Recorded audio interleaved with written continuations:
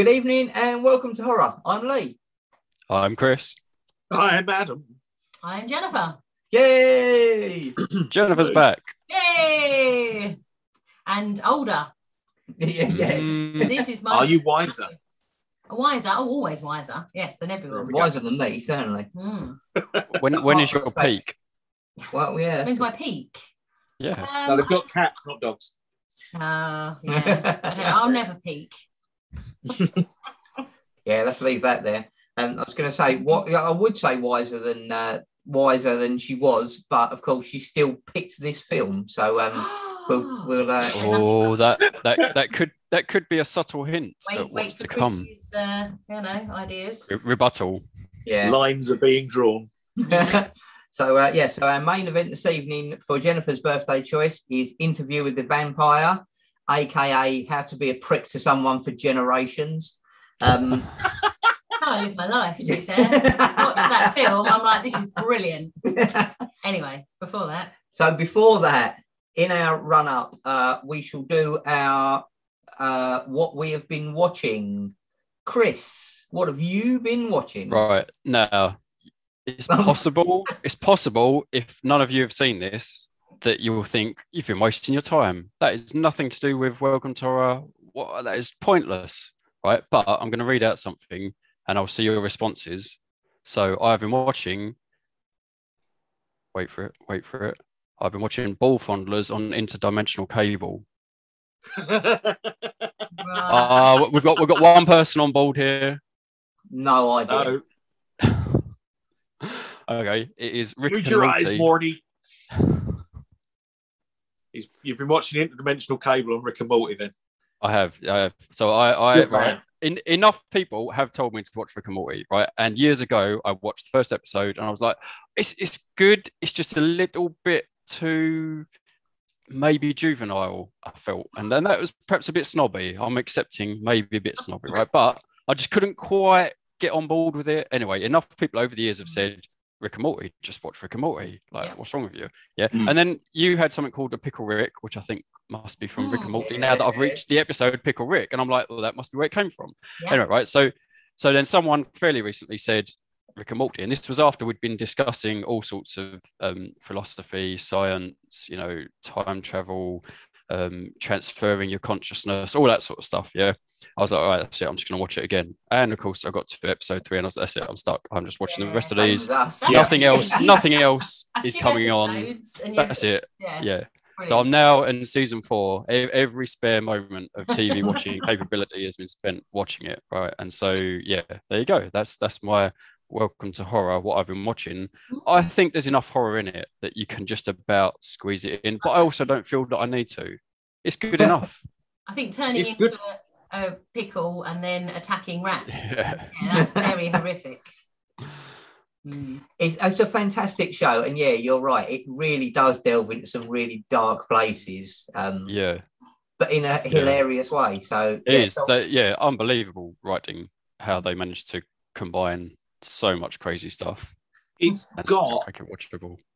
it's almost got that thing that Red Dwarf used to like had in the sort of early days, where you're like, loads of people are watching this and they're really enjoying it, but they're also being exposed to pretty fucking big sci-fi concepts. Hmm. Mm. like multi-dimensional okay, yeah, stuff yeah. and things like that. You know, and as Yeah, it goes on, and you get that sort of element to it where there's however many different realities and replacing yourself in another one, and Yeah. that's not actually the original person who was that original person. And yeah, Hmm.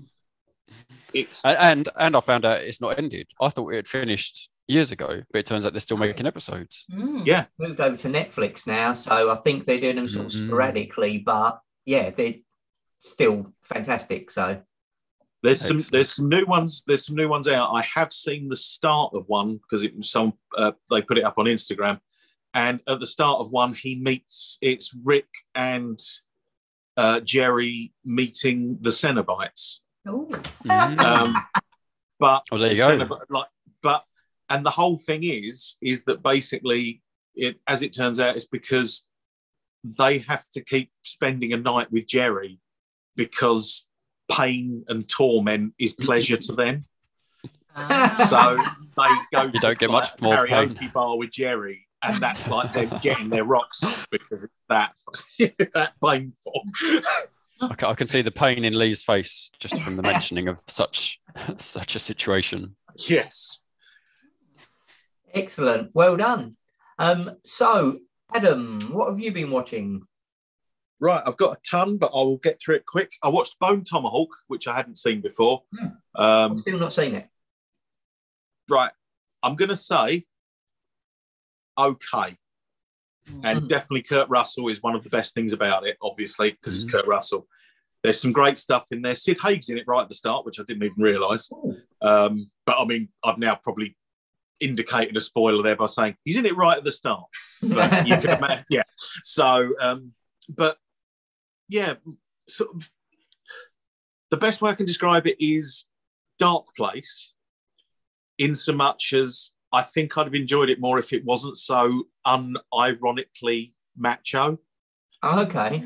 It's quite a sort of like we're stoic men going to do stoic things, and you know people who are like sort of you know, and just lots of no nonsense men in the wilderness arguing.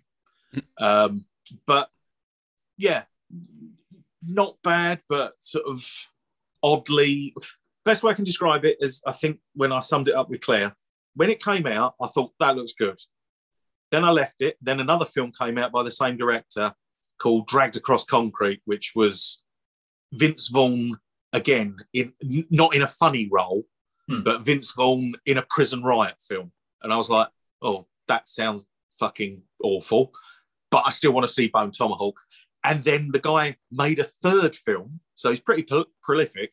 But that was a bar where some like Gulf War veterans drink. Uh, and these old boys have to defend it against a group of young punks who've turned up. I think they're basically canon films Yeah. is the best way I can put it. You know, they're a bit sort of Chuck Norris sort of e. so. But I mean, I I enjoyed it while it lasted, but there was definitely a there was a distinct level of sort of oh you you haven't moved on here, really, have you? Not, you've not thought that there might be a bit more nuance needed in this, but it does. Fe- but it does feature some really graphic, um, a really graphic scalping and chopping someone in half and stuff. But yeah, overall, it was sort of okay. Okay. Um, but yeah, glad, glad I've watched it. Glad I didn't pay for it. Um, well, it was on Prime, so I paid for it technically. But you know what I mean. You Um, with your soul, Adam. Yeah. Yeah, it feel it feels free. Yes, Soul. yes. Not free with Amazon. I, He's- I've, He's got a I've lot of kind soul. of paid for it. Jeff Bezos clearly hasn't. So, as he wanks in his spaceship. Um, then I watched uh, Fanny Lye Deliver'd, which is um, like uh, it's set just after the English Civil War, and it's kind of a um, it has a sort of a bit of a Western feel to it, weirdly, Mhm. um, like a revenge Western feel to it. But basically, um, Maxine Peake is married to Charles Dance. Obviously, it's a loveless marriage because it's in England during the Puritan age, and he's a man of God. So it's basically, you know, he's just a prick. Um, and then two people turn up and expose her to other religious concepts. Basically, they're ranters, which was a, a, the first blossoming of the notion of a God within, Mhm. But but also they're pricks as well. And it's it's just a really good film in the sense that basically by the end of it, she has come to her own conclusion, but it's not through anyone else. It's through observing and experiencing. But yeah, but it's also it has that nasty Witchfinder General edge you know, oh. where it's that that sort of a thing where it, it basically it feels like that done small scale because there's only like eight people in it. Hmm. Um, but yeah, it's uh, definitely worth checking out. It's not horror, but it's sort of it. It feels a bit folk horror just the way it is because it's that period of time. Yeah, that- yeah. you know, and there's some sort of gruesome moments and stuff like that. But basically, yeah, no, that's a that's a good one. I also watched Undergods, which is a film which is like a sort of sci-fi anthology set in a future dystopia, um, which was really good. Not quite sure. I think it's one of those ones where I'd sort of half recommend it in so much as if it sounds like it's your bag, go for it. But I don't know if it's for everyone. It might be not for everyone, so I might, I might suggest they cover it.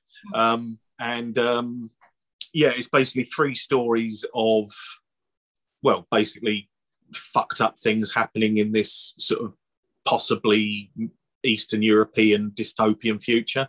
But it's two corpse collectors telling each other stories um, as as they drive around picking up bodies for either meat or slavery.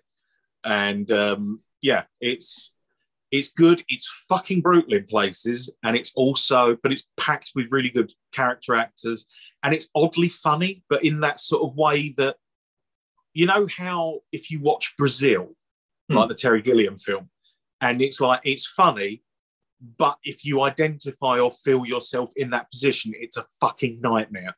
Yeah, it has that it's that sort of a feel to it. But um, but yeah, that was um, genuinely genuinely good.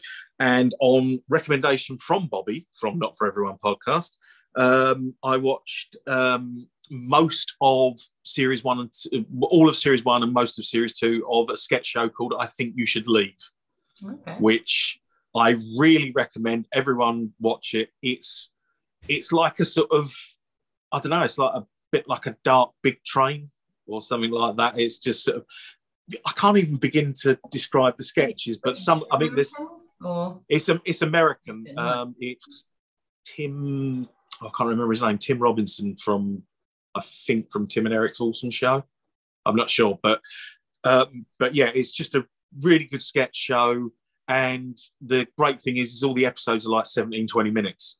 So okay there, there's nothing that outstays its welcome in them. Hmm. But there's some great sketches. There's like one where it's um, the girl who's invo- invited her snobby older boyfriends to a party, and they're playing. You know the game where it's like you uh, take names out of a hat and you have to describe oh, yeah. them. You know, it's that game, but he keeps coming up with like obscure jazz people and something like.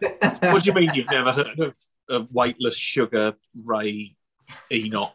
He's but he was on the Colgate Jazz Hour every week. Come on, you know. So, um, but yeah, and just and sort of nicely childish and sort of yeah, yeah, it's definitely worth it. Uh, definitely worth to watch that one. Excellent. Um, also, I've been listening to. There's two podcasts. One I discovered. Alexei Sayle has a podcast, mm. and that's just really worth listening to. Just hear a grumpy man talk about weaponry and what's wrong with the world. Uh, in, we've, we've got Lee way. for that. well, we've got Lee for that, but it, when I don't speak to Lee, I get to listen to that. You know, it's, yeah. it's, but I mean, it's Alexei Sayle pretty much as you expect Alexei Sayle. And one of the finest things on there is just to give you an example of the mood of the show. They have a Patreon and they promise you nothing and they said that they feel that that's in keeping with the concept of how bad things are in terms of just reality that it's like yeah you pay us and we give you nothing but if you but if you pay us like gold standard you get absolutely nothing you know it's definitely nothing. And um yeah it's just well worth listening. Is him and his producer Talal uh, uh Karkuti who basically who sounds like he's visiting his grumpy granddad and like having it's like granddad you should but i mean there's been brilliant bits like at one point because alexei sayle as we know doesn't give a fuck. Um, but talal actually knows that there's a reality out here uh, and you have to be careful because at one point he said well i mean you know not so much the patreon but i mean i'll send you a special message if you could get me a gun like you know maybe a Glock or something like that. And it's like, no, please, Alexei, just don't say it because yeah. yeah. And he's like, yeah, but uh, okay, I won't. But if you get me it. um, and also a podcast that's just started called Eerie Essex, um, which is um, um, who is it? It's like uh, Indiana, but not quite as uh, you know cool. It's it's not it's not quite as Joe Dante, definitely. Um, but basically, it's them. It's um, uh, two uh, two ladies, Bethan Briggs Miller and Alyssa Clark, and they are sort of detailing haunted areas and stories from around Essex. Um, and um, the first one they've done is like haunted hotels and B and B's, and I thought that'd be right, right up Yeah. your alley, Lee, Yeah, because I know red line on you, you and I know you you guys would want to go and Yeah. stay in as many of them as possible. So yeah, Absolutely. um, it's a but yeah, it's a, a good show, and also they um, they've displayed having the right frame of mind when they described Anthony Hopkins as both an asshole and a git. So you know, um, but yeah, and so the pod those podcasts definitely worth a listen to. So yes, Marvelous. Fantastic. and that's all the weather. Yeah, if, uh, definitely watch the podcast and definitely watch. I think you should leave. So Mm. Yeah. We've written those down. So, Excellent. Thank you very much. mhm. Um, I've watched a couple of bits, but uh, nothing new. Um, I've rewatched all three of the Ghoulies movies um, Mm. because they're amazing, but we'll be covering them at some point, I dare say, so I won't go too much into that. Um, and I rewatched uh, Roger Corman's The Raven with Vincent Price, Peter Lorre, and uh, Boris Karloff, isn't it? Boris Karloff, that's his name. Well done. Um, yeah, which again in the in the fantastic world of Roger Corman, where he would basically take an Edgar Allan Poe story, take the name, and then entirely write something that had nothing to do with anything really. Are they no Um, ravens?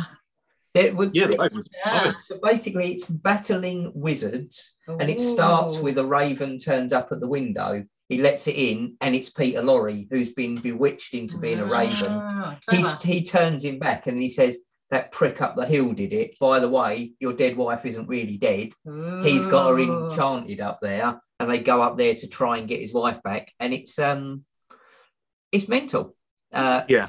but it's fantastic fun and it's really it's really funny and it's really brightly coloured and it's it's Mm. all the great things that Roger Corman's oh, comedy horror stuff Mm. was really. So um, we should def well, again we should definitely cover it on the show at some point 'cause- especially because i know claire's requested to see more vincent price and that's definitely one i've got Mm. lined up yeah. Because it's yeah just a great little run around that film yeah Definitely. Nice. Um Sounds great. Uh, quick RIP, obviously, um, and I think it's as horror related as as music gets. Really, uh, obviously, Joey from Slipknot died at forty six Mm. this week. Yes As far as I'm aware, they still haven't said why. His family just said he died in his sleep. Um, yeah but his passengers died screaming he was driving a bus at the time boom boom sorry um, yeah, I just felt that was worth uh, worth mentioning. Yeah. as- I mean, they're definitely a horror band, so. Uh, oh yes Um, and I watched one other thing, which isn't quite horror, but we have had a hashtag Ask Welcome to Horror question. And the other thing that Jennifer and I have been watching falls into that Ah. category. So, Adam, would you like to read our hashtag Ask Welcome to Horror question? He's just bring it up on the screen Open it, get it back out the Beep, beep, envelope. He's opening it up from the mailbag. yeah, come, come out of the golden envelope. Uh, right, in this and uh, and this this part of the show we call it Ask Welcome to Horror.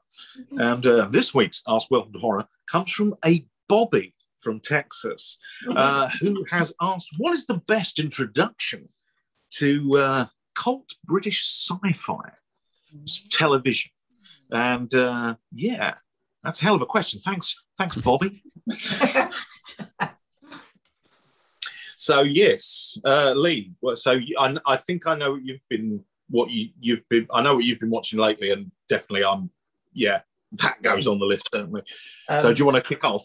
Oh, thank you very much. Yes. So, uh, so the main one that I would suggest for this uh, is, as we've mentioned quite a lot recently, is Sapphire and Steel, Yes. um, Mhm.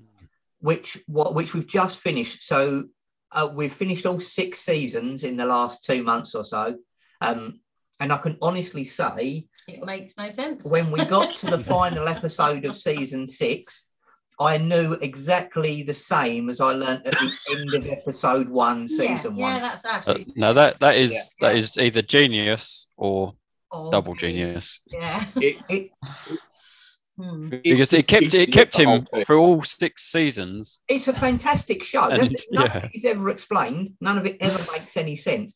But it is so entertaining and so Mm. Yeah. good. It's fantastic. Uh, David McCallum, who I didn't really know particularly before this, Mm. um, is an absolute national treasure. I loved him so much. He Oh, was such a prick in it. He was, he is so good. yeah, He has got a run off the money with Lestat, I think, for later, really. Isn't yeah, he? I think, yeah. the biggest prick. yeah. Like- I would feel threatened by Steel. Mm. I think I think Lestat, I would just be bothered, Yeah. annoyed. He'd spoil your night, but you wouldn't be uh, scared of it. yeah. Um, Joanna Lumley, obviously, I, Brilliant. I it- Yeah. it, was amazing. I've only ever really, um, apart from the the Hammer movie that she was in, I've obviously only Yeah. ever seen her in Absolutely Fabulous. So I've never seen her in a serious role. I didn't realise what a fantastic actress she is because in Oh, she's fucking brilliant. she's a, a caricature, isn't she? So It's it's a weird thing because, like you said, I mean, basically to give give the concept, Sapphire and Steel is a show about what can best be described as two time detectives Mm. who come from somewhere. They are not human and Mhm. they turn up and solve problems with time. But it's things basically, it's time breaking into reality and causing things like hauntings and time slips and they even do like a future episode and stuff like that Yeah. and uh, like people from the future everything is set in the present like the, the then present day which was the late 70s early 80s Scary Yeah. 70s. I love the outfits. Yeah. and uh, oh yeah i mean some of them are quite stunning you know and um, so they basically turn up and have to solve these problems there's a really obscure intro to it where they describe all these people and but they say they describe them as elements Mm. which Yeah. is unfortunately fucked up because neither sapphire nor steel are elements oh, you've ruined it, Adam, now. I, I know, I know. But the but the interesting thing is is that there's sort of certain things in there, like when you dig deep on the mythology and stuff like that, there's sort of things where it's like, can steel exist at the point before steel was invented by man? Oh. Because it's, you know, it's not a naturally a sapphire is a naturally occurring compound. Hmm.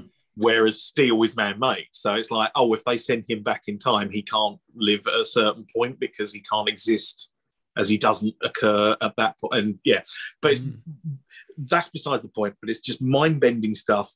Um, steel, and and basically the great thing is is that you get them, you really understand their characters yeah. almost from the the off.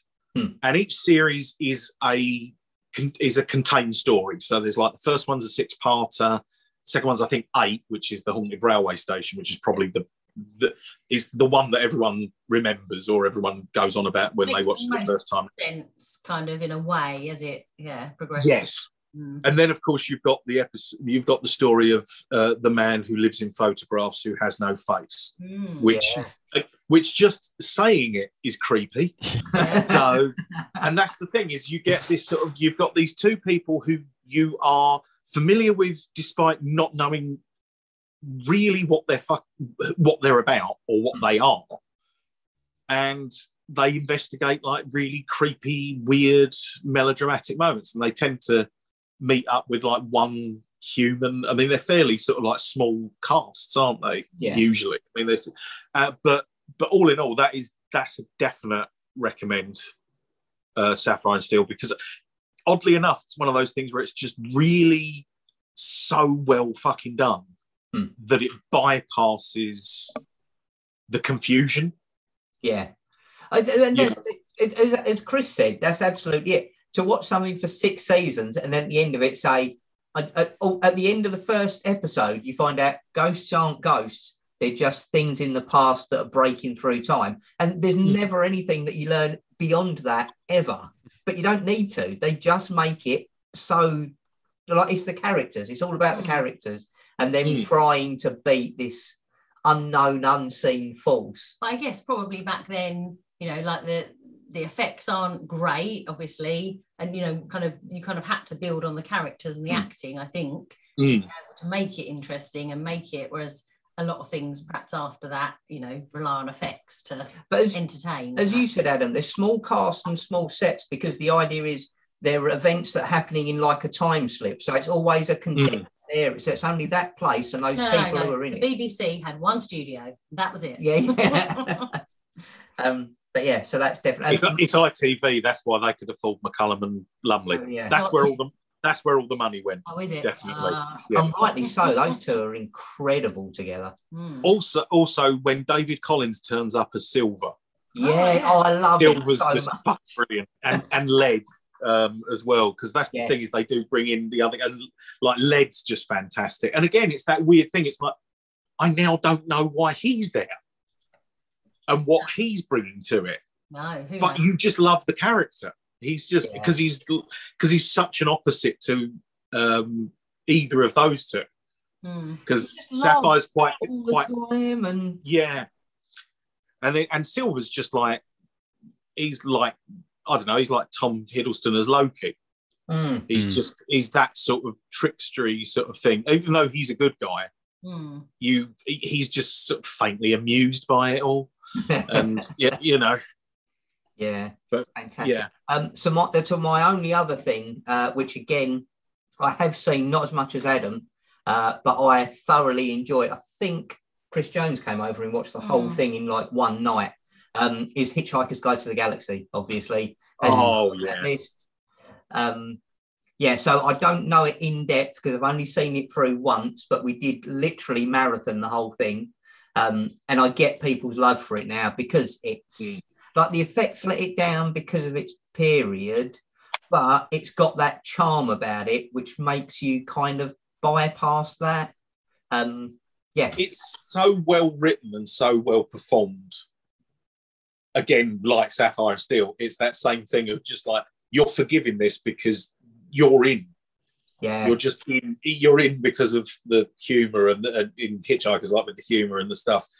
And because the thing is is hitchhikers was originally a radio show. Mm. and when they and then douglas adams wrote it as a book and then they decided to make it for tv Hmm. and the weird thing was is they were like shit what do we do because of we've got this narrator. We've got the book's narration on the radio show. And they were like what do, how do we do that then and then they came up with well we could animate the readout of the book Hmm. and the the animation you know some of the the practical effects like around the people and the monsters and the robots and stuff Yeah. like that some of them are a bit shonky and a bit crap but those um like the readouts of the book like the animation of that is beautiful it is incredible. it's just and also just one of those things where you look at it and it's like computers don't look this good now and they because because when they did the film of it the film was okay but the one thing that i felt was is that all the all the book stuff was all like looked a bit like flash animation it looked like yeah, it looked like you'd gone on Walk Records website, which was a really nice, well-designed website. But equally, it was like, no, I've seen this. Mm-hmm. Whereas the the ones in the TV show are definitely, and and most of the it's most of the same cast. Like most of the radio cast moved over and did mm-hmm. the TV version. Yeah. um, yeah. And again, with the film, that's the weird thing. You've got like the infinite improbability drive, mm-hmm. and in the film, it's like, oh, we've turned into sofas, and oh, we've turned into knitted people, and I can't help but feel that was Douglas Adams like, yeah, we didn't really have the budget to do it last time, so you know, we'll Yeah. reduce it down. And it's like, yeah, because on the TV show, one of them turns into a penguin, and the other one's arms fall off on Southend Pier. It's like, yeah, wow. and obviously, just I mean, just the fucking dialogue and the the humor of the whole thing is just yeah. yeah, And, wonderful. and Ar- Ar- Arthur Dent is probably the the quintessential Englishman, I think, in so much as utterly inept, but muddling through. Yeah. You know, but but, but it, you know, it's Is it is he very polite as well? Yes. Yes. Have you, have you never seen Hitchhikers, Chris? No. Oh, dude. Uh, Right. It is so you. Nothing could Can we be call more him you. Arthur from now on? Right, right. We'll reconvene. Not- not till I've seen it. Go and watch it now. Tomorrow, you can watch it tomorrow. Definitely, I- I man. hear ya. Seriously, yeah. If you, it's the yeah the six part series. Watch it, you will fall in love. It is Mm. incredible. Yeah, Wonderful and yeah, It's like the original Rick and Morty. yeah. it is it not far off Yeah. because it has that high concept stuff going on. Yeah. I mean, it's not quite. I mean, there's no Mr. Poopy Butthole in um, in Hitchhiker, but then, but then, I mean, when you, I mean, fucking hell, I mean, on his own, you've got Marvin the paranoid android, and every line of his is a meme. yeah. It's just, you know. I think you ought to know I'm feeling very depressed, and just from there, you know, it's, uh, oh, it causes me pain to even think down to your level. And yeah, It sounds it sounds a little bit along Terry Pratchett kind of a I was Very. just going to say Like that actually. comedy Very kind of- Pratchett-esque. yeah. mm, in, in fact, the I mean, books wise, um, Terry Pratchett obviously did Discworld, and pretty much the same with Douglas Adams. Douglas Adams mainly wrote more Hitchhikers, Hmm. so the world built and built and built, and uh, yeah, you do sort of, and yeah, it's just an incredible one. And not only that, but also I think it's one. There's nothing in it you you could definitely watch it with your kids. Yeah. mm, They would not. They there's no there's no particularly bad language. There's definitely nothing too scary. There's Mm. nothing too. Uh, there's nothing too violent or sexy or anything else It's, like it's that. very English. It's very English, yes. But still But- brilliant. Mm. Exactly. It. I mean, that's the thing. Is that that goes to prove how well it is that it doesn't need Yeah. sex, violence, swearing, and and car still chases to sort of you Or know Game to of sell. it. Thrones. It just, you know, wasn't needed. Cool. Well, they say that's all I've got. So, Adam, I shall hand over to you now to finish this question. I think, well, there's the quintessential ones you've got. Um, obviously, there's Doctor Who, and I know Bobby has asked me about that before. I think, as welcome to welcome to horror people, uh, listeners, etc. I would say go early Tom Baker series, so seasons twelve and uh, twelve and thirteen, maybe even fourteen, because they have a lot of gothic horror sort of tropes and stuff like that. I mean, they do Uh, who They do who a does he go against? uh, well, there's one. There's one called the Brain of Morbius, which is basically Frankenstein. Um, a, a surgeon is building a body out of spare parts to house the brain of his master Morbius. Uh, and um, then you've got Pyramids of Mars, where he faces the um, the living Egyptian god Sutekh. Uh, but Oh, Sutekh is chocolate using. bars balanced up. Yeah. You know. No, I'm afraid No. not Pyramids of Mars. No, unfortunately. No, that- Uh, though I do believe that Mars made Pyramid. So maybe that's where the, the whole thing segues. Um, you've got Terror of the Zygons, where shapeshifters are using the Loch Ness Monster to terrorize oil rigs. Um, yeah, there's just, yeah, there's a lot of, um, that's really your monster era. There's stuff like Horror of Fang Rock, which is basically the ballad, uh, the uh, Ballad of Flannan Isle explained in that a giant shape-shifting jelly. There's a lot of shape-shifting. Um, I think it's a budgetary thing. Yeah. You know, like they can they can atta- they can take the form of a human. Well, that's Andy. So, Uh, Um, and what um, what year or what years? That is that's like the 75 to basically 75 to about 78 is the Okay. um, the sort of rich gothic period for Tom Baker. You might also go for the very last season of the classic series was um, with Sylvester McCoy because you've got uh, there's a story in there called Ghostlight, which is like an impenetrable Victorian mystery. You've got The Curse of Fenric, which is the best military versus monsters film that you've never seen. Ooh. It's and it got everything's in there: chemical warfare, the Cold War, um, Alan Turing, uh, Mm. z- vampires that live under the water and have become barnacle encrusted, and uh, an ancient evil that lives in a flask. And it's like it, it's pure like proper horror. That one, Prince of Darkness. Uh, but he's yeah, he's actually very Prince of Darkness. Um, and then I would say also you've got like the the very first Jon Pertwee season is very Quatermassy, which would be the next the other thing that I would definitely say is if you can find because obviously there's the Quatermass Hammer films, um, but there is um, if you watch the original 1959 or 1958 Quatermass and the Pit, which it is basically you get the same as the Hammer version, but it's longer, slightly more in depth, and there's certain changes in it that make more sense. Like Colonel Breen, rather than being a young man, is this crusty old bastard who is yeah, who is the British military. He literally is like every fucking thing that's wrong with it. He's a walrus moustached old fart who sort of melchits his way around the fucking Nice. the archaeological dig. Um, in the in the early 2000s, they did a remake of the original, the Quatermass Experiment, with um, Mark Gatiss and Jason Flemyng from League of Extraordinary Gentlemen, and uh, well, Mark Gatiss from the League of Gentlemen and Jason Flemyng from the League of Extraordinary Gentlemen. Was there a theme and, um, just going through the phone book and it was Yeah, I think they were. Yeah, uh, David Tennant's in there as well, and um, and actually one uh, someone who's in uh, Interview with the Vampire, but only in a small role, um, and that is definitely worth watching because it give basically what happened was is the original Quatermasses went out live and they didn't film them. Yeah, I remember uh, that. like they didn't uh, so they don't exist. No. so for the anniversary it was like the anniversary of the uh, like bbc or whatever like that they basically performed it live on telly. Wow.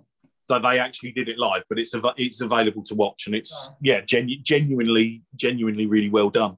Um, we were we uh, tell you what if you want to try and date it um, the night that they did that um, the pope died and we went to see noel fielding live. So Hey! Good all round then. yeah when russell watson came out and just said pope's dead. I don't even have to use the microphone now do i? No um, so yeah, so quite quite a mass sort of definitely that sort of 70s period Doctor Who.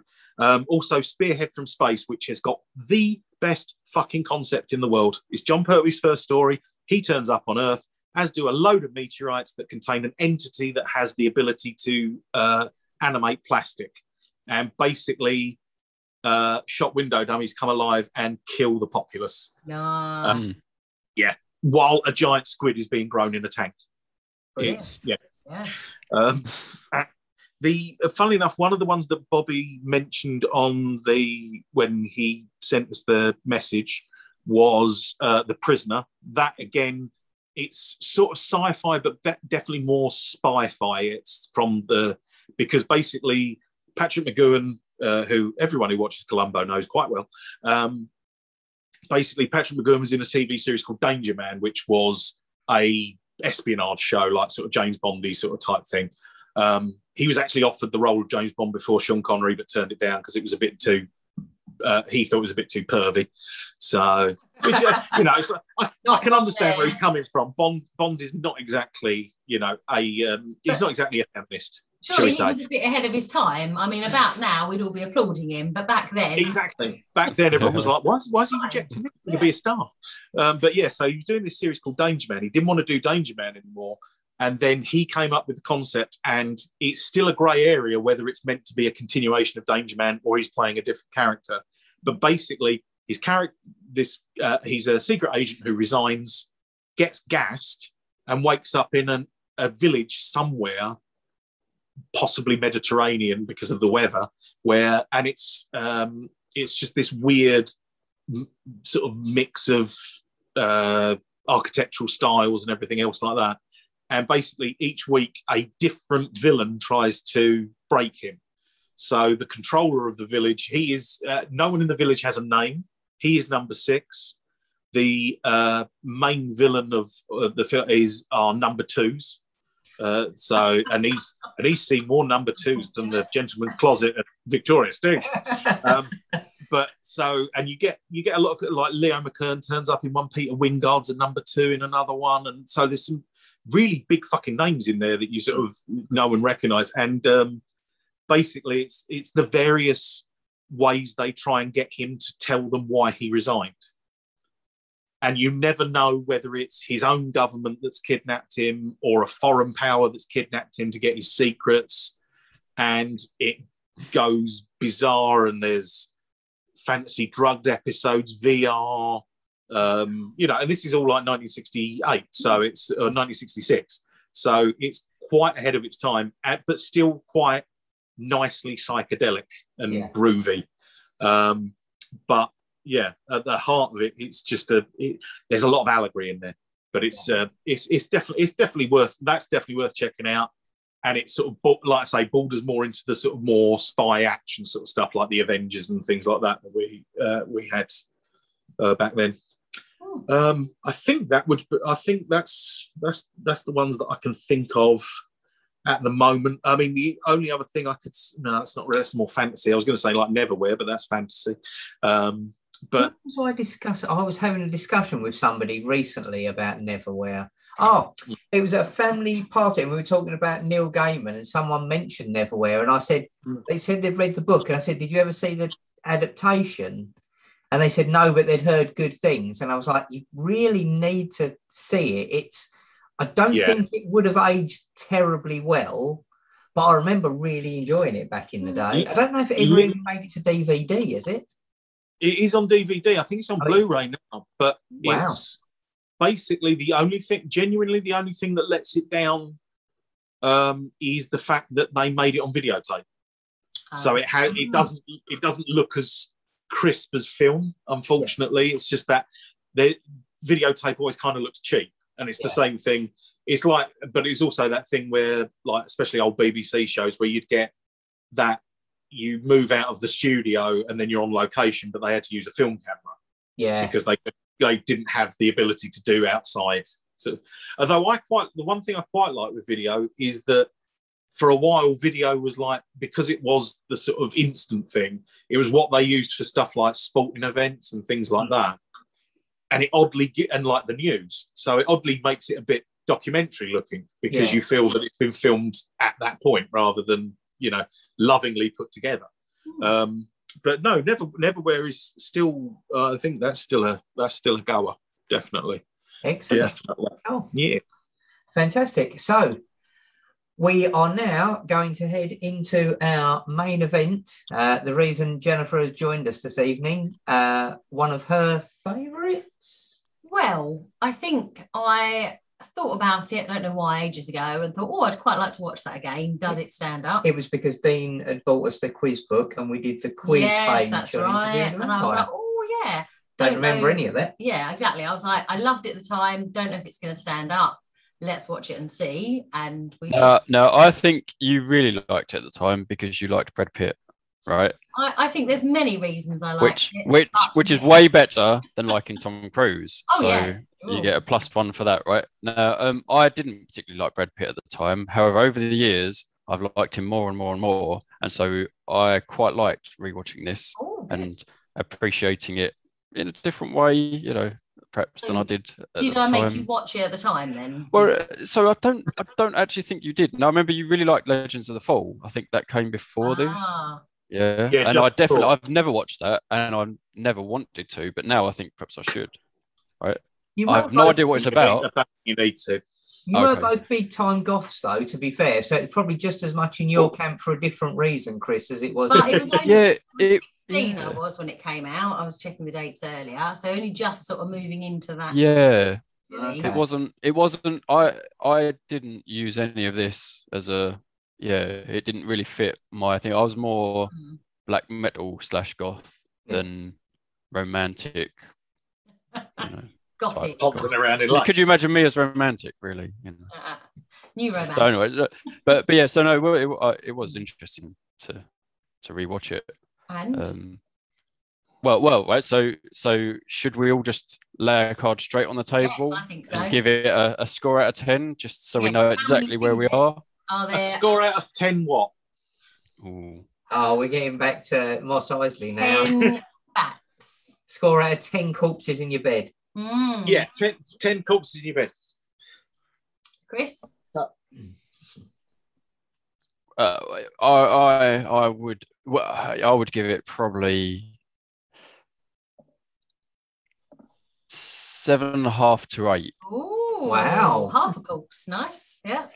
But uh, that see, eight feels like too high because I've given other things eight that should be higher. But and I, I'm trying to work out what is nostalgia and what is good. And also, I'm definitely mixing up the books with the film. Like, I can't having watched the film again, having read the books, and I definitely loved the uh, the expanded universe Hmm. that Anne Rice brings into it, and and some of the concepts of um you know living for forever or not quite forever, depending on what happens to you, depending on who you upset, right? Um, but yeah, that sort of idea of how do you keep moving with the times is Mm. fascinating, and I remember some of these ideas I hadn't really thought about previously to reading the books, and so um yeah, so I definitely appreciated them way more, and watching this makes me think of the books, so that may get it a bit more as a film. It's I, I haven't picked it apart fully to to really think what I, how I view it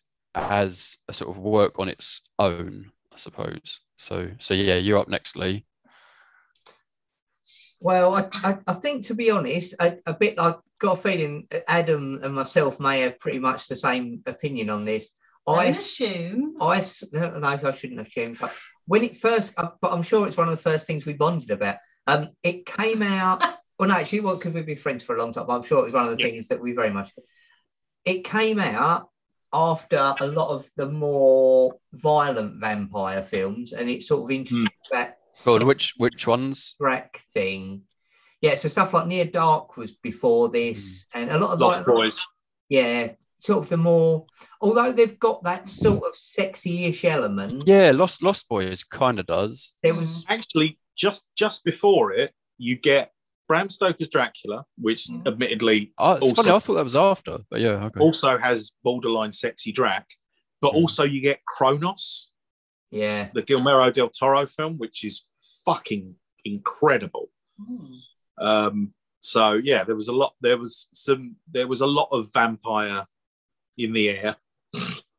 there was and and, and i think uh, this was the one that sort of turned that turned it more to the kind of sexy you know the sexy vampire thing so i re- I, I didn't i don't think i hated it the first time i saw it but i resented everything that came following Mm. it so i think i got more and more against it and again i think it was that thing as you said chris where brad pitt at the time hadn't made enough of an impression with his acting because he certainly doesn't Yeah, in this i've got to boy, admit wasn't he? he's just a pretty Yeah. boy and tom cruise and um uh Antonio. antonio banderas so it was just like lots They're of not coming back. you know kind Oh, of They are come. They're back.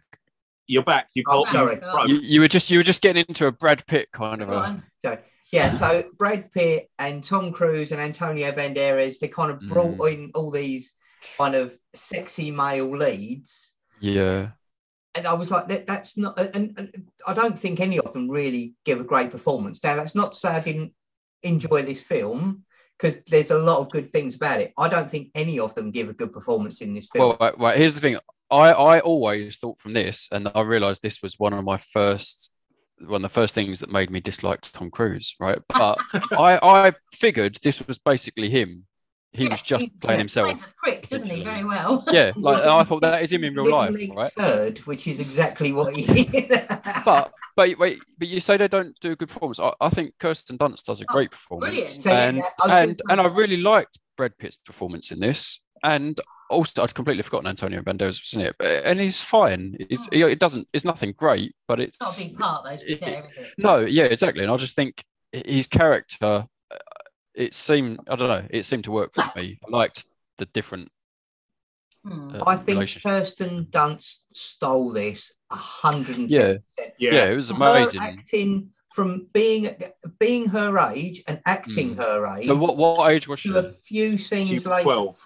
Twelve. Okay. Yeah, like that and to a few scenes later where she's supposed to be in her forties but she's still in a 12 year old body and Yeah, she does yeah, mm. such an immensely good job at that just Mm. Yeah. breathtaking so so solid But I d- I, did really like her with Brad Pitt in it. The way that they, um, you know, because it, it really did make me think that is a strange relationship because obviously he absolutely views himself as kind of father figure. Um, and the complexity of her, you know, the way she's pleased at first, but then over Mm. time she hates being the age. And then he he's all Brad Pitt or um, Louis has always had this, he wants to understand it. Um, and he- you know, the way that she can see that their relationship is going to come to an end. She almost sees it before him, or Mm. kind of accepts it. Almost the Um. I just, yeah, like I just, that, I thought they did a great job of getting across all of that and just how complicated that would get. See, that's Yeah. funny. The, the thing that Jennifer said when we were looking at it this evening, just before we we, we watched the beginning again and then skipped through chunks of it because we only watched it a couple of weeks ago. Um, but yeah, on Google, when Jennifer first Googled it, it said it was a horror romance. And I was like, it's two men who never kiss or have any particularly gay tendencies towards each other and a small child. I was like, I don't get where Yeah, romance yeah, no, that's beyond. I, element so I. I, I thought it was between the men because, It's, There it's is- definitely He's it's definitely there. much more. but al- But- also, also the drinking blood is, as far as I could tell, they really made that into almost like Mm. sex. Like they, That's- it's, that's a- it's the, That's a big part of vampire. I, I guess mythos it is, almost, but isn't it? but yeah, I mean, I don't know if they the way it was stylized in this just made it that bit more than, but Mm. perhaps it wasn't. I mean, I, I to be honest, I had, had not really seen. I probably had seen Lost Boys, but aside from that, I don't Mhm. think I'd seen any other vampire films. Hmm. I mean, there's, there's What's your score on the Dorsley? Oh, yeah, sorry. that's Yeah, I got distracted. Sorry. Uh, yeah, I'm I'm I'm going to give this a seven. If I'm honest, Mm. I like I I think it's got Kirsten Dunst is fantastic. I love the look. of There isn't a crap looking scene in this. Mm. No, Some of the effects, the the effect where Kirsten Dunst gets Tom Cruise to drink the dead kid's blood, and on like on screen in 1994 CGI, he turns into Was that CGI? creature starts Uh. aging. ha- hang on. I have got some. I've got to stop the presses there. Hang on. This is fucking incredible. That is not CGI. As Mm. soon as she slits his throat, on the floor is a puppet.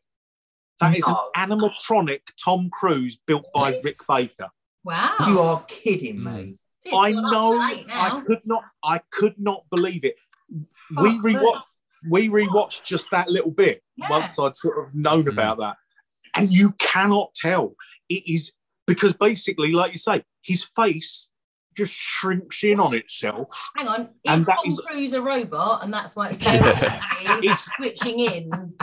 No, I, I, from what I gather, though, I think Rick Baker showed him the dummy, and he said, "Yeah, but one thing I can't understand is why have you made it so short? I'm a tall fella. I'm a really tall man, so I think you need, yeah, was we, Tom Cruise. I bet he'd be like, "Can you just leave me alone with this for like 15 what else can it? What else can it do? Can it grasp? That is incredible. What, like a vampire? Mm. I've never seen anything like that. Was the thing I was trying watching it. I was like, it looks practical because it's solid and it looks earthly, but at the same time, it can't be because of the Be- amount of How change could they have goes done it? through. Yeah. Yeah. Yeah, Rick and it is- Baker is a fucking god. Oh, Yeah. Mm. I mean, it's unreal, isn't it? yeah, it, it stands up so well.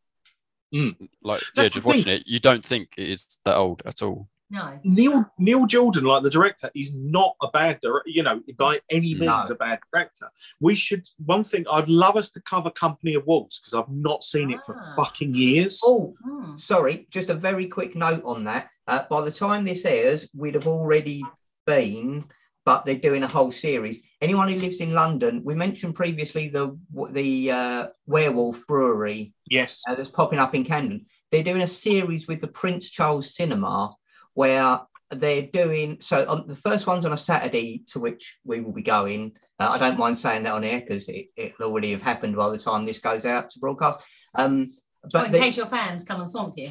um, but following that, they'll be doing like every Tuesday. They're doing a werewolf film, and I think he's bringing the beer, basically. wow. Um, and they're doing Company Wolves. and they're Is doing Company came of from? Wolves. They're doing Monster Squad. Um, uh, yeah, they, they- it's all really good stuff. But the one we're going to is American Werewolf in London. Um, Oh, beautiful. the yeah. one Saturday afternoon. So it's Saturday afternoon matinee and werewolf beer. Cannot wait. Anyway, sorry. Excellent. Right. If if Lee packs some balloons, Jennifer, stop him. Or he's running around that auditorium with his bits out.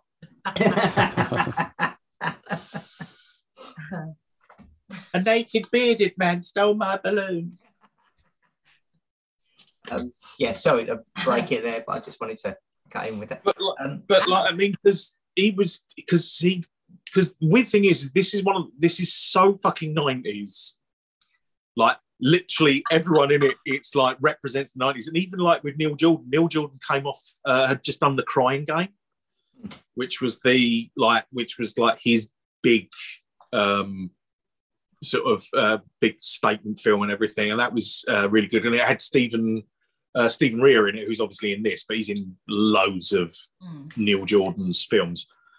yeah, he's and, uh, fantastic. He is just great in that. I mean, the um, yeah, and so I, the look of it is incredible. You know, it doesn't. There's nothing about it that looks cheap, and Mm. and certainly effects wise. I mean, I'm slightly. I've always been slightly annoyed with the amount that they go on about the makeup, and it's like, yeah, right. Um, but Adam, apparently, did you read the bit earlier though about them hanging upside down in makeup? Yes, yeah, Yes. because that's uh, because it was like, oh, they took three hours in makeup. And I'm like, Mm. why? What? Yeah. yeah. What? What? What took three hours? But what they had to do was, yeah, they'd hang them upside down, let the let their veins bulge out on their face, and then trace over their actual genuine veins. Mm. But the trouble is, is you do that for 20 minutes, your face returns to normal, and then they'd have to string you up again and then do it again. So that they were going through like three hours of that a day. That sounds It's quite horrific. impressive, isn't it? Yeah. Mm. It's quite impressive, apart from take a picture on the first day. oh, Adam, And this then was just before draw digital. from- That'd have, that'd have cost money in film. Ooh. yeah, yeah, no, you're right. What? sh- What an No, it wouldn't, it wouldn't have been as good. Mm. it probably, but I just don't, because this is I the everyone was like, Someone makeup. didn't like Tom Cruise and was like, how can we really piss him off? Yeah. They tried Actually- to stretch him? Is that what? If we hang him by his feet, you might. That's what it was. I think it was, it was it was him. That's what it was. It was like, no, no, I, I have to do this. Yeah. But um and, and actually at one point he insisted on them having like a closed set. So they had tunnels built so that they could get to the get into get onto the set without Without being seen. the amazing makeup. That you know, because he was Or worried because they were too embarrassed to be seen looking I- like that until it was in a film. Because because take take any of these out of the sets and you probably look a a bit of a Yeah. prick. yeah, Yeah. like if, if that's you know if that's not your normal look because obviously you know I did used to dress a bit was like it down right no no no no it's fine but if, if you're not into that you probably feel quite weird Not the Not amount on they were being film paid. set, you yeah. know, it's fine. It's but I, I agree with you, Adam. Like oh well it's just to hide the It special was just to hide the makeup. And it The was like special effects are great, but Was the it- makeup isn't much Was at it all. tunnels? So everyone else accidentally stood in the tunnel while Tom Cruise was up here? Because I heard he stood on blocks. Oh yeah, no, that's But, yeah. yeah. Apparently, uh, they did the old Hollywood trick. He was on a box sometimes. Brad Pitt was in a trench sometimes to make sure that he. Seriously, I'm. I'm Yeah. not- Shoes not on kidding. his knees. Yeah. shoes on. Yeah. Thank heaven for little girls.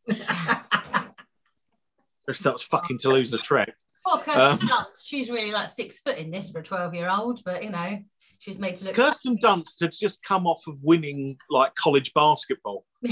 Um, and um, yeah, they actually they they had her hobbled like in misery, just so that she wouldn't look taller than Tom Cruise.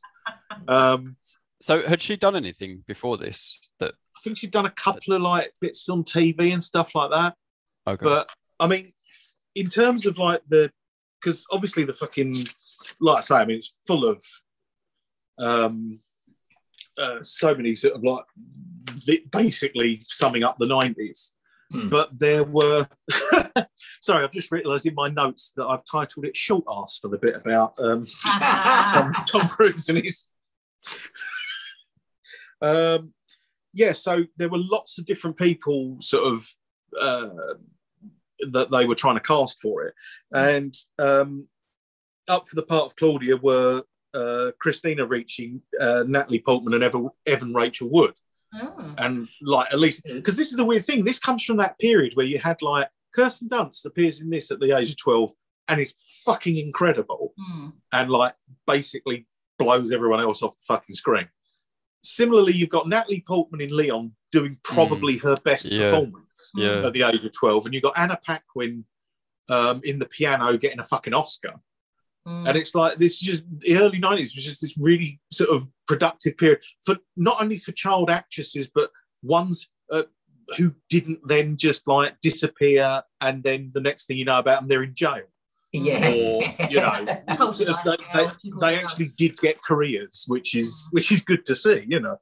Um, but I think, I mean, the only one I think that they were sort of because I think Brad Pitt was the first one cast for for this iteration of it because um, the book was like 1976, and I think it was like a success immediately. Hmm. So the rights were optioned very um, like were optioned in the same year, and Warner Brothers bought them, and then and at that point, Anne Rice, the author Anne Rice, wanted uh, Rutger Hauer to play Lestat, Ooh. Which which bearing in mind this is 1976 would have probably worked because he would have been young enough because Okay. that was the thing by the time He they got round to this.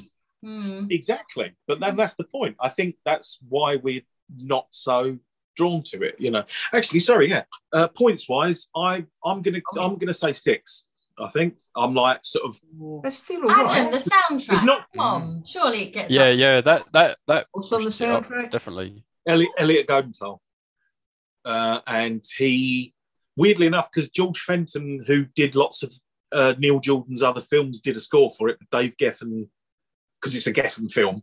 Uh, so I Dave love the Geffen. logo of the Geffen at the beginning of this. I was like, yes, we're in the 90s. They produced the Guns N' Roses albums. It's like Guns N' I was, Roses. I was going to say it's why Guns N' Roses are on the soundtrack because it was the I- thing, isn't We've got to address that. Now, I was, at this time when this film came out, the biggest Guns N' Roses fan on the planet. Yeah. That closing track of uh, "Sympathy for the Devil," Never I've not, I, well, no, I've not listened to in probably twenty years. Oh my god, it is fucking awful. Yeah. It is so Yeah. bad. Like I love Guns It N' Roses, cover, so, and they you know, like. yeah, It's I not them. It's a cover. I know, but like you, if you're gonna do a covers album, you've got to pick stuff They you were probably sound told good to do it for the doing. film. Oh, it's Even- dog shit. It's so It is. bad.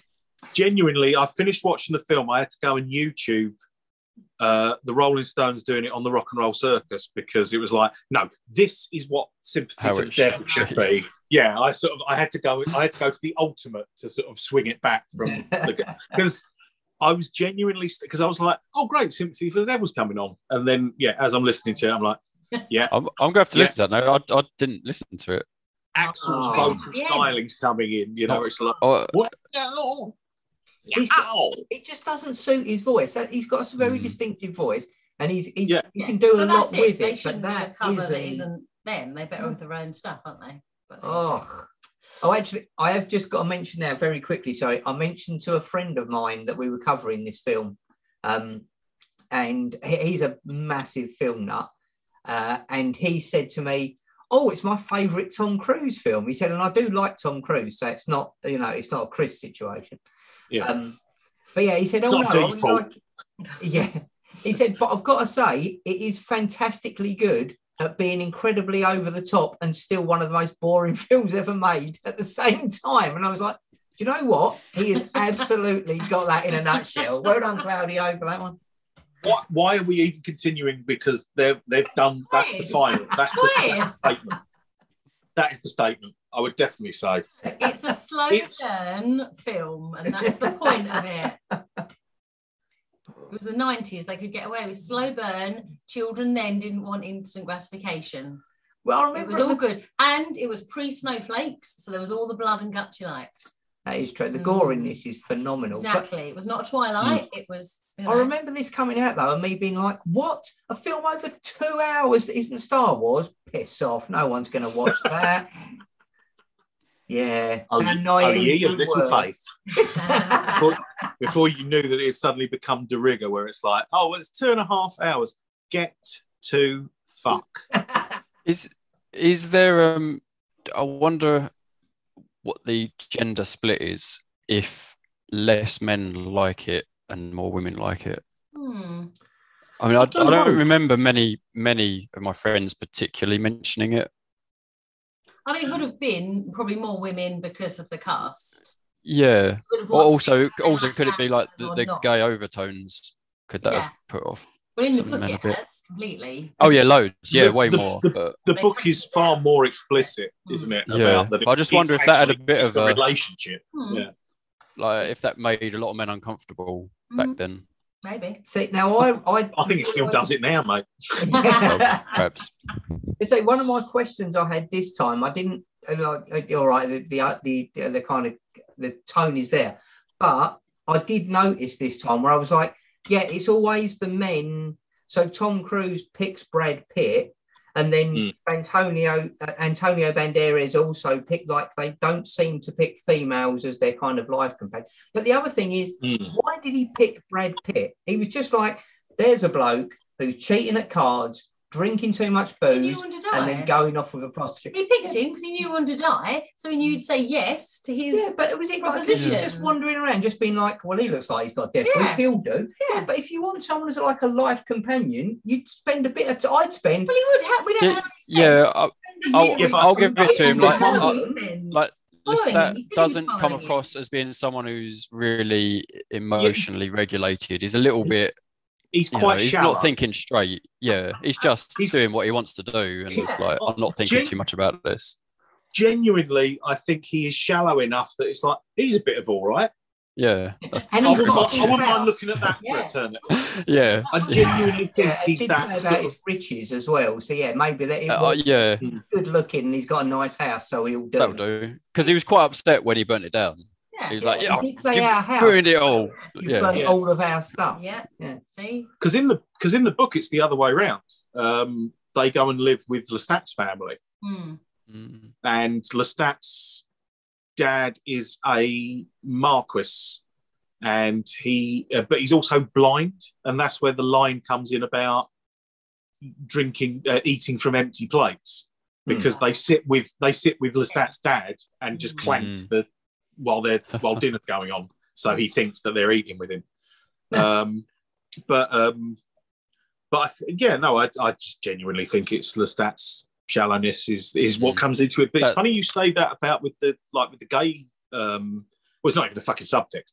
Um, No. but with with that aspect with that aspect of it, at one point, and again because it was in development for so long, at one point in like the early eighties or whatever like that, Anne Rice rewrote the script so Louis was female Hmm. because she thought, oh, the reason this is not getting made is because Hollywood don't want to put a gay couple on screen. Yeah, that's fair. Ah, so And and really they do and in fairness, they do fudge it in this. It's Mm. kind of a do you know what I mean? You can watch it and they even they even go to the point of using older colloquial statements about, well, that's my companion yeah. or you know, my, my escort or whatever like that. And it's like, no, that's yeah, it's Is, is that is that not just how the vampires do talk? Because they're old. I- Because also yeah, they, that they are from different well. times. Yeah, Mm. Yeah, but I think yeah, but then I think that they don't go any further to that.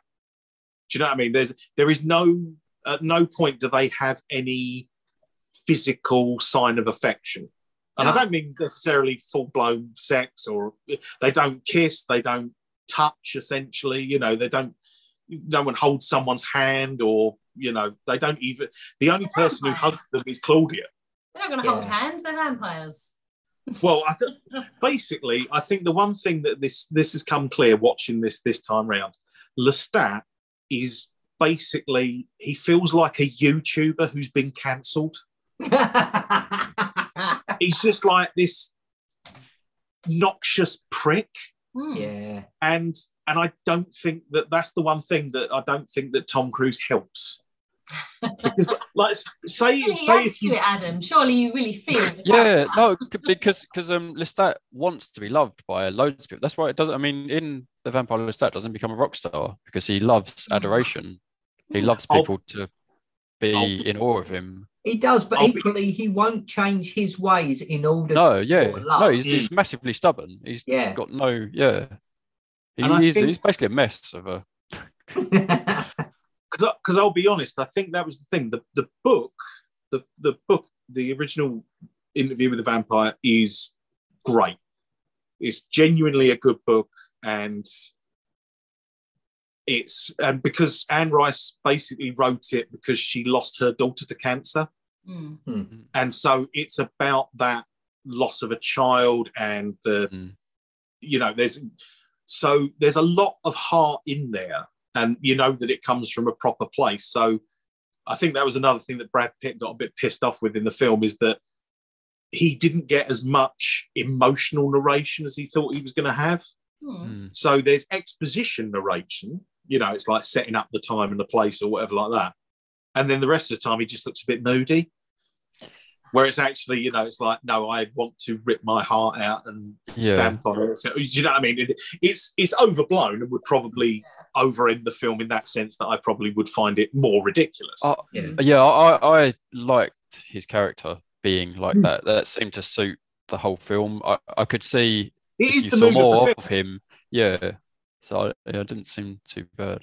Um, but so what- so how far did you get on the Vampire Chronicles? Did you read any more?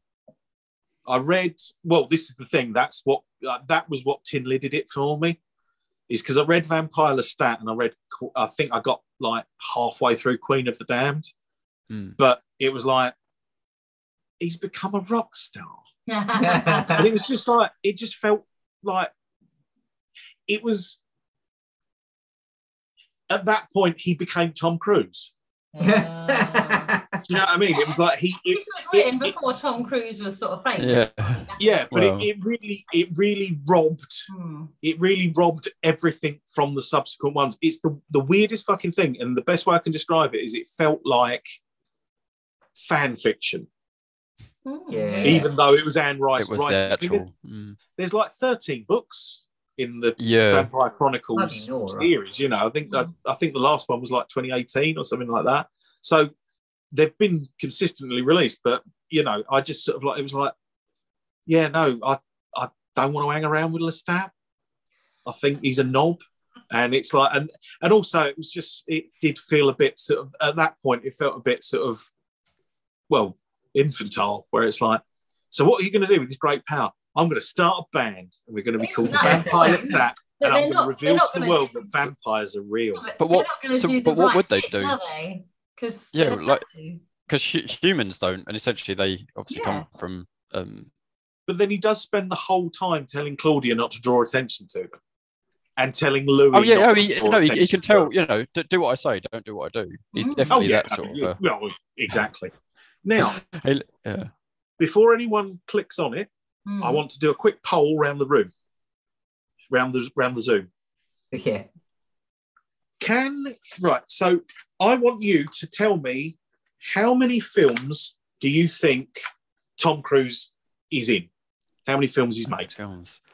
I'm going to say more than I think. Yeah. 30. How many? 30? Thirty. Right, okay. Fifty. Okay, Lee. I'm going to say 70. He's not that old. Right. No, he's done a shitload of stuff, though. He must have done a lot. Well, bearing in mind, say for example, Christopher Lee topped like 219. Michael Caine's been about Yeah. 200. What? Yeah.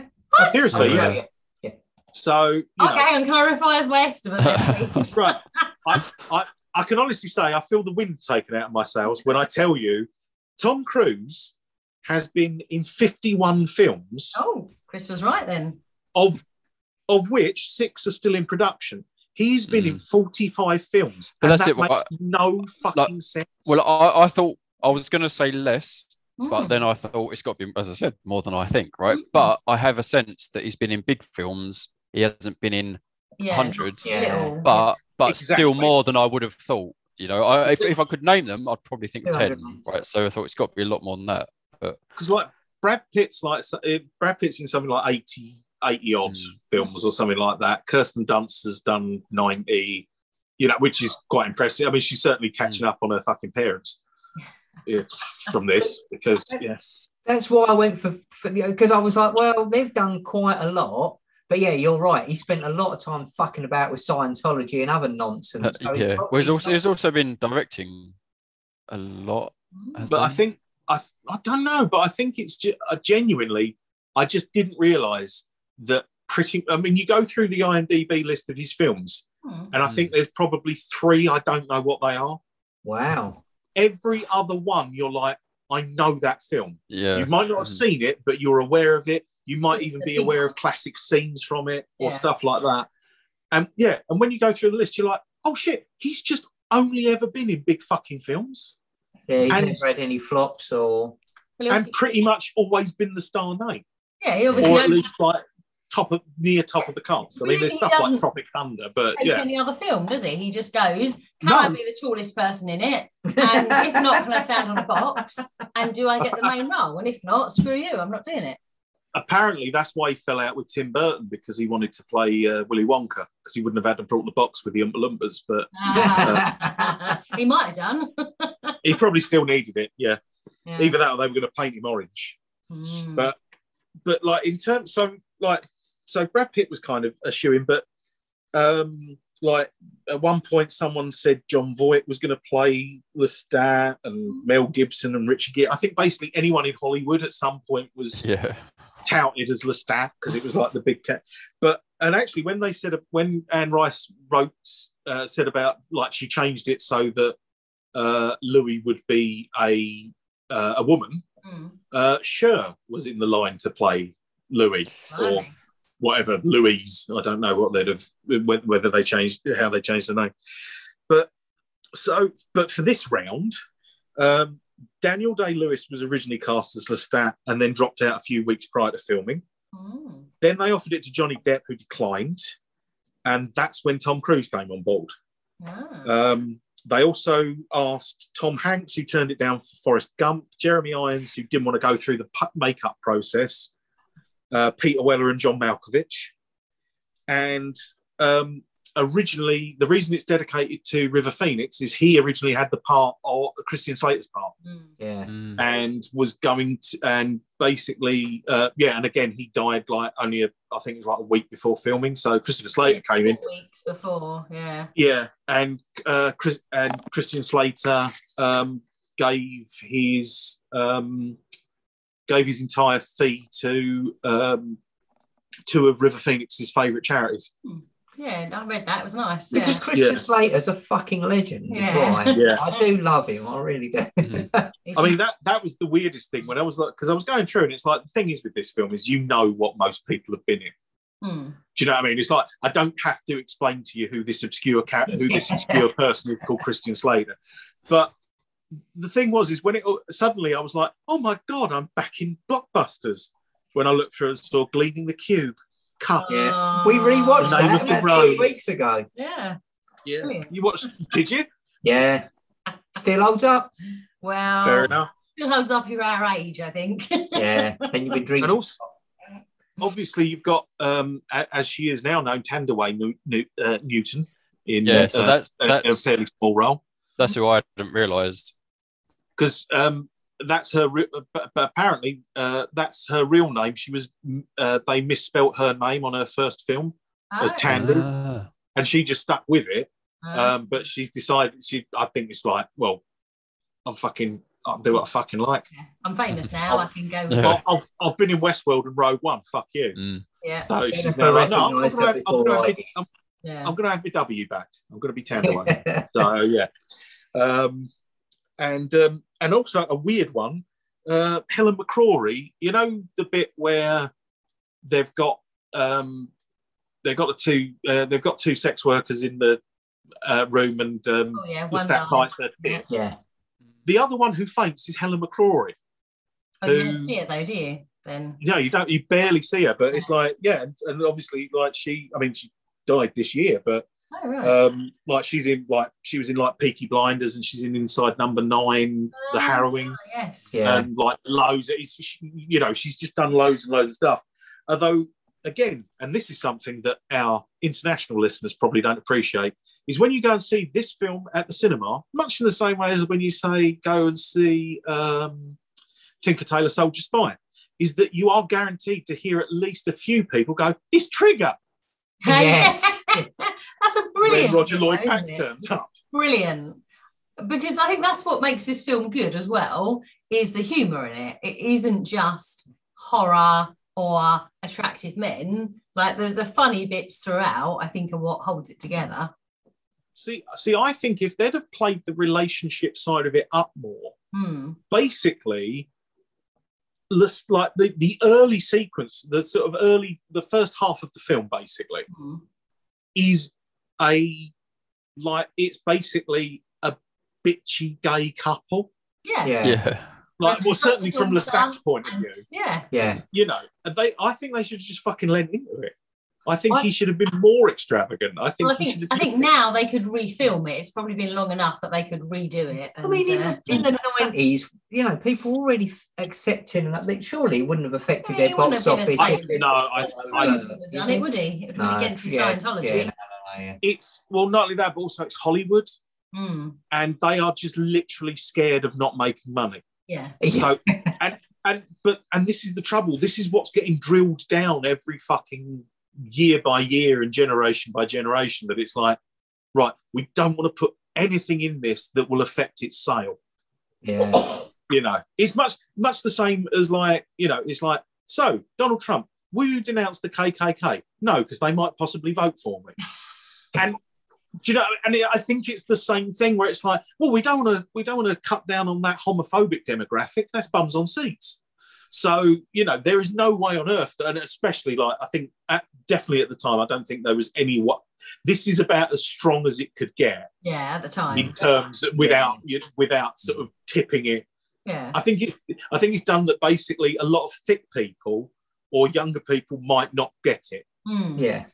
You know, so they can sort of carry on. I It's don't like I got oh, just, time. they're just two mates. They're just two mates, you know. Yeah, they're just two mates go around killing people. That's fine, Adam. And, al- and also, I mean, the thing is, in the book, Lestat, he, Lestat is well, I mean, he's not even bisexual; he's polysexual. You know, he's Mm. anything with a pulse and most things without. So, oh no, without is bad because then you die as well. So Only if you But- drink yeah. Well, all right. He, he didn't he didn't die though. Hmm?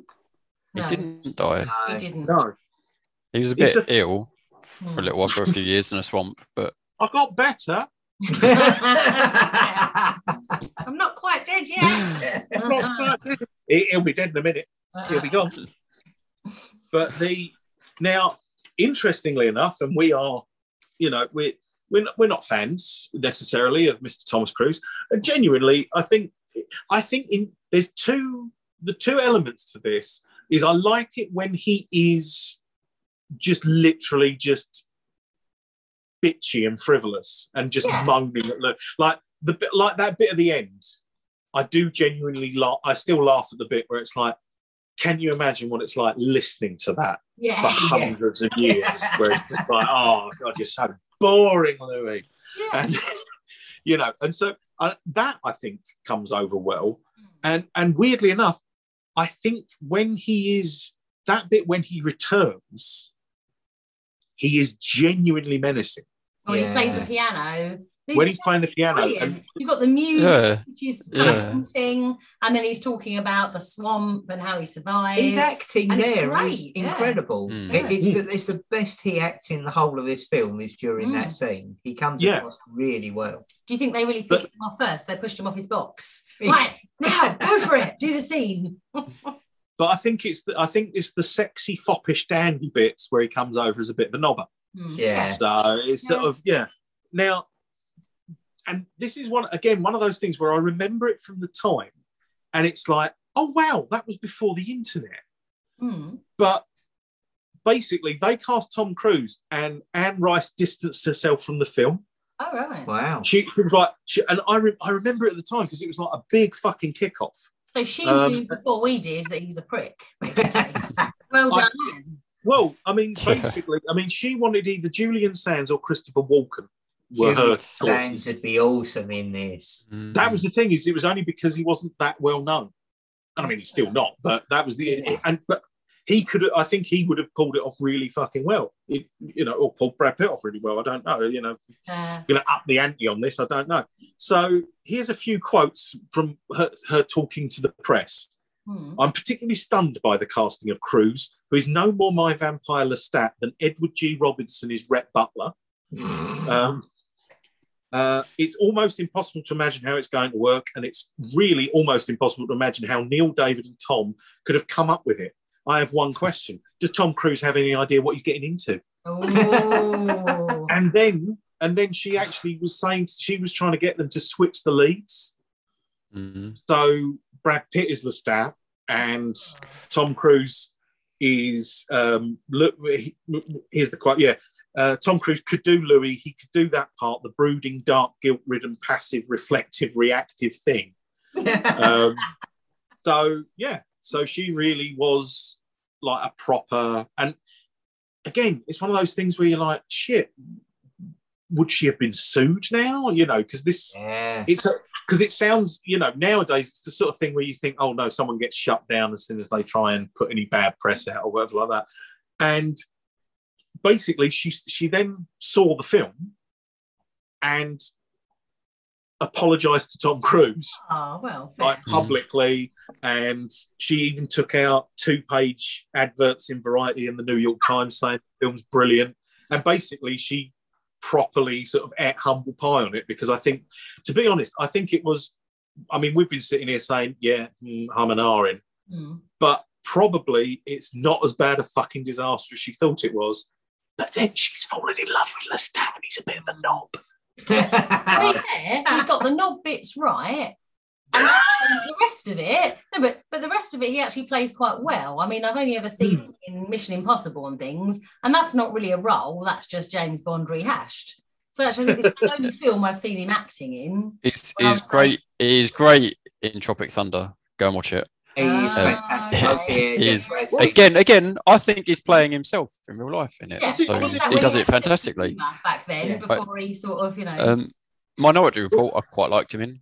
yeah. minority report's good was, It's was also it, a great um, film. was it magnolia you used to or vanilla sky lee i can't remember i I've know you Vanilla that Sky. sounds like two Um, different paint jobs, you know. Yeah, Yeah, It's Chrissy's house. Magnolia, I've seen a f- couple of times, but not for. a that's very meant to be good. time. I've never seen it.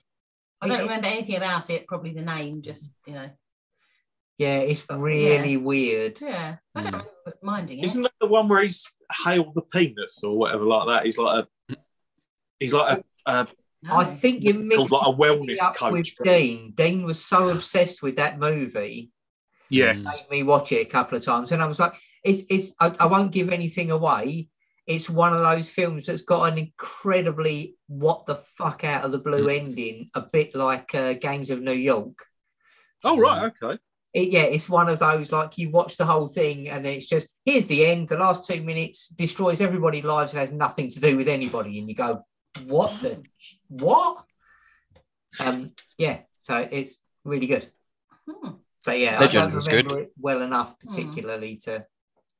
So does he ever play anyone who isn't a bit of a dick?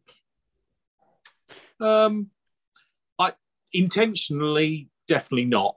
It's how the character no, it's how the character may come across because there's certain ones where you're like I mean in Tropic Thunder he gives a proper it's a proper f- performance. It's not the starring role. It's not a big Mhm. it's not a massive part, but he does give But proper for a small part, he makes Good. it stand Yeah. out. Yeah, he He's really one of the does. biggest bits of that movie. He's the one of the bits you will always Yeah. remember of that film. yeah. True. Is that he's Danny being a dick, McBride. so he stands out because he's being a bit, you know, Oh yeah, the yeah. top. Yeah. yeah, Well, there you go then. Um, a few good men I should watch. I'm sure.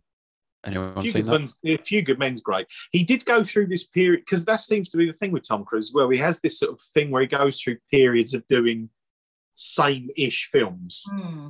So like, so because he was doing Mission, because he's been doing Mission Impossible, that's why The Mummy was a bit Mission Mm. Impossible. Oh, Mm. you, you, you're quite right because he did Oblivion and Edge of Tomorrow back to back, and I liked both of those. Mm. Um, Actually, Edge of Tomorrow might be, yeah, I think that might be my favourite one if I if I have to go default. If I'm honest, yeah, so although actually it probably might even be interviewed just because uh, uh, I, I I know it, so at least I can I, I don't I don't have to put up with anything. yeah, yeah, that's the thing. Like you say, we do run him down and we do slag him off. Um, but I think that's more his personality generally Mm, yeah. more than his performance. I, I don't. oh yeah, it's a Mm. personal attack. Like- it's nothing. Yeah. It's nothing. yeah, it's not personal. Oh no, wait, it's totally personal. Totally Yeah, personal. it's and really not about his personal. Sorry, Tom. If you're listening, it is totally personal. It's like you can appreciate someone as a musician, but you also want to see them dragged behind a car for three miles. You know. So Exactly, Adam. Anyone? yeah, I'm good. I'm good. Yeah, I'm all good. I'm not going to throw any shade on anyone specific here, but we all know who they are. Um, but yeah, I mean, uh, War of the Worlds, he was, uh, you Mm. know, relatively good. Mm. I've been told, uh, Claudio, who uh, I got the quote from earlier, Mm. um, he said to me, Last Samurai is well worth watching, and I love it. Yes, Fucking yeah. terrific, Yeah. I really need to see that. genuinely that's a good Mm. film and because that was one of those things where it's like i'm really not in the mood for a fucking like historical samurai movie it's got tom cruise in it right why don't you just just kill me it'd be quicker yeah, I and then and wa- then I watched blown away thing. by yeah. yeah Fair. that that probably helped actually it was like it's, it's probably a fairly good film but i was expecting to want to tear Yeah, my eye uh, out yeah. So, it's like you know as far as i was concerned it was a fucking masterpiece Oh, and again, you know, eyes wide shut. My uh, everything I've said about Stanley Kubrick, I still don't think he's a great filmmaker. I still think he's massively overrated. My favourite film of his is a Tom Cruise movie. So Oh. what is that? that's fair enough Wait, what? What was it? uh, Eyes Wide Shut. Uh okay. I'll have to watch that then. Yeah you'll love that chris Oh, and of It's- course, Rain Man. Never seen it. Right, yeah, Rain Man is fantastic. He is he is he is Tom Cruise in it again, but It is a it's, he does a great job. Do we think he just He- reads through these scripts and goes, "Yep, that's me"? That fits me I'll perfectly. that. Yep. I'll be that asshole. That's that's why he hasn't done that many because it's Yeah, like you know how many have that perfect character.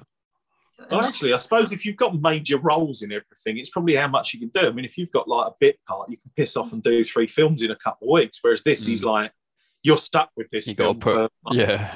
yeah, you're you're here every day. Adam, Yeah, Adam, don't like- give him any any ways out here. No, he's only picking films where he can be a prick. Okay, let's not give him any. You know, oh, I've just found. I'm just looking through his filmography. I've just remembered he was shit in Legend. There we go. cocktail. Wait, wait, wait, wait. No, I can't. I Cocktail. can't remember his his acting in Legend, but the film is good.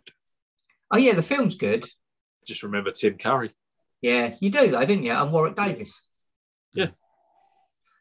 There you go. So it must be shit. There you go. Point. Right. I don't- Let's end on that. ago. Yes. It's sort of been He, he was he was pretty young then, Oh, actually. That was Are those before speak- Top Gun, even to be fair. Yeah. Yeah. Oh yeah, look, one film behind. Mm. Speaking of not being on, uh, like not being around for the whole film, apparently he never met Antonio Banderas because Mm. he, Yeah, he doesn't wasn't in any to. scenes with him. Yeah. No, and actually Yeah. in the book, um, in the book, Lestat is at the Vampire Theatre. Mm. It's him who Mm. tells them that he tr- they tried to kill him, Uh, and that it all kicks off. And it's and it is all in later in the books. Um, Lestat and uh, Armand knew each other, Yeah. like Mm. bef- before Louis met Armand and everything. And uh, Mm. can I at this point just say Antonio Banderas because it sounds a bit like Beras, and Got to obviously, say, obviously anyone- his. Sean, sorry. I was going to say, obviously, his greatest film role is his burger beard in Sponge in the SpongeBob movie, Sponge Out of Water. I was Just- just about to say, I really love the Expendable movies, which are all crap. Um, and I know they're crap, but I really enjoy them. And he is my favourite character in all of them. He's only Mm. in the third one, and he plays the prick who wants to be in the gang, and they won't let him in. He it. He's that sounds like an odd role for him. And obviously- He's got Invader Zim walk like nothing. I've never seen a real person walk like Invader Zim until Yeah. you've seen him walk off set, pissed off on uh, Expendables 3. Trust me, it's worth watching the film. or just the clip Yeah. on YouTube. And, and obviously Puss in Boots, which is just the role that he was Oh, born to play. Yeah. Yeah. So actually, and I'm going to mention there's a film called The Skin I Live In, uh, which is Antonio Banderas, and it's fucking great. It's a twisted fucking film, but it's Ricci. no, no, no. This is um, basically the plot of this is um, to get revenge on someone. He transforms them. I'm not going to say any more than that because I think it would ruin the film. But yeah, it's pretty dark, but he is fucking great in it, and, and um, yeah, he, it's well certainly a bit better than he is in this because I do think he's a bit sort of. It, I'm I'm waiting for this every time he's sort of finished. I've just, oh, sorry, sorry. So he does seem to be a bit tired. that's the problem with all of them. I think it's it's such. It, it sounds difficult because I said I like this, but it feels so melodramatic. Everyone feels out of their comfort zone. So although I don't think They're many of them, I don't think Uh, many. yeah, that that yeah, I see that. That seems to fit. You see what I mean? Like, so I don't think any of them Hmm. give a good performance apart from uh, Kirsten Dunst. But I think they're all hard characters to pull Yeah, off because he needs but- to but be she's- quite Yeah, but she needs is to be able she to is pull off really she is melodrama. really emotional because Mm. she's like been um, denied, you know, ever being able to grow up, and she sees what. She, whereas the rest of them, they're all jaded, ruined husks of a. You know, yeah, but They need something to to really enliv- enliven them. They're Yeah, but 'Cause I just that- ugh. that Mm. should be what happens with Armand, really, is that he should be really bored and then livened up by Louis. But but it, well, yeah, so I guess they perhaps could that's have it, included that. that- But but that is yeah. it because that's why he didn't mind Louis destroying the you know the rest of his Yeah. um Yeah, oh no, he doesn't give a fuck. his Yeah. theatre group. Yeah, because he, he just he knows that that all needs to pass, and he wants something to yeah give him some more Right. energy and bring him into the new world. Mm. I mean, that is it- one of the seems best to work. lines.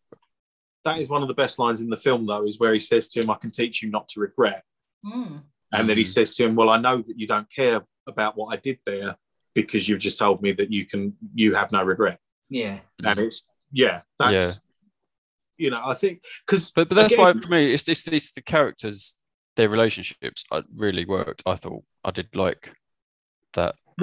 in I mean in the book he goes off with Armand. Mm. Like they travel together for years. Yeah, yeah. So which so I find the film kind of makes a much more emotional sense in that where it's like no fuck you Yeah, Mm. because it is like well no, no yeah it's not even that it's the thing that he knows that he doesn't regret killing Claudia yeah.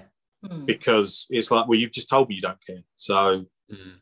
you know I and um not only that but also from what I, I mean apparently at one point Brad Pitt was so pissed off making this film that he rang Dave Geffen and said how much to get out of being in this film Wow. and where Tom I- Cruise I- upset him. Apparently um, Played I by mean Kirsten Dunst. yeah, it could be. where is I because I had to I had to get the quote because it just it just caught me really Yeah. So, because it, it basically it was just the grueling aspects of doing it. But where is it? Six months in the fucking dark, contact lenses, makeup. I'm playing the bitch role. I'm telling you, one day it broke me. Right, life's too short for this quality of life. I called David Geffen. I said, David, I can't do this anymore. I can't do it. What will it cost me to get out? And he goes very calmly, $40 million. And I go, okay, thank you.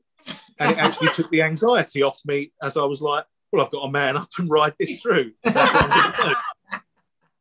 But apparently, yeah, he was just like utterly like he just he just got on top of him. And I suppose it's it's understandable. That's probably why it's like everyone everyone seems like knackered and strung out. And it's like, yeah, because I've yeah, because I've been working nights for the last three, and my every working day starts with three hours of being pinned Yeah, upside nothing, down from a it, really? car. Do you think they went out for parties, you know, to get the staff morale up afterwards? Oh no! Well, you, you Tom probably, Cruise did some probably, cocktails, you know, and uh, Well, you- Yes. you- I'd imagine it gets all a bit. Um, it gets a bit J Lo. You're probably not allowed to look Tom in the eye. Uh, here, here is a list. height. Here is a here is a list of conversations that you could have with Tom. Uh, subjects for.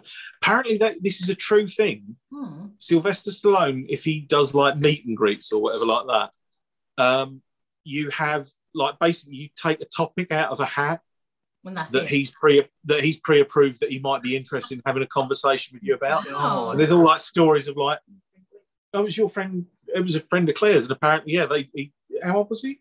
I don't know. His dad was a stuntman, Oh, right, okay. and so he went on set. Um, it yeah, early teens. So yeah, so kid in his early teens, and he got given golf. to be fair, golf was in there 10 times and there was only one, yeah, you know, Rocky. beer. Yeah. There was there was only one in there that said Cobra question mark.